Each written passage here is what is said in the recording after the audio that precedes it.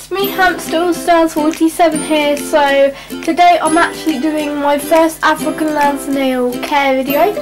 I have had Leo for almost over a year now and I haven't done any as such videos on him. The only vi two videos I did was when he came and a video of his cage tour because he doesn't really do too much and and there's not too much to do and most of you are on my channel for the hamster care mainly because of my name. But today I thought I'll change it up a bit.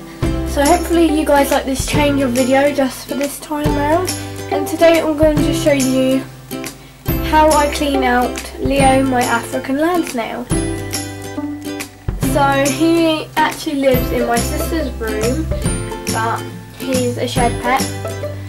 So anyways, um, I'll just do a quick what we've got. So we just have his tank here, and he's very dirty because we're about to clean him out. And he's quite messy. We've got his spray bottle here, which we have to spray him every day. Uh, we've got his tank cleaning cloth. This is just for like the outside and things like that, making sure it's nice and clean. There's just like a temperature gauge here, tells you how hot it is. Because they've got to have it quite hot, but not too hot, so it's damp enough for them, for them to stay wet. I've got three pink buckets. I've got a scoop, a cup, a cup, and I've got his cocoa fibre brick. So anyways, let's begin.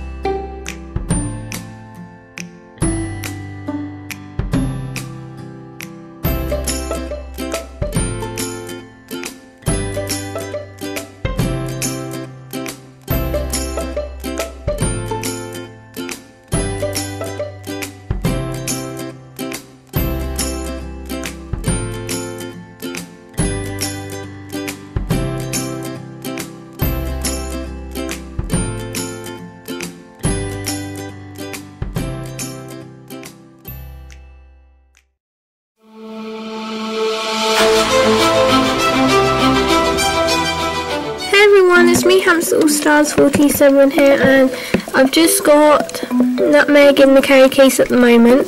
She was just having some treats, and now she wants to come out.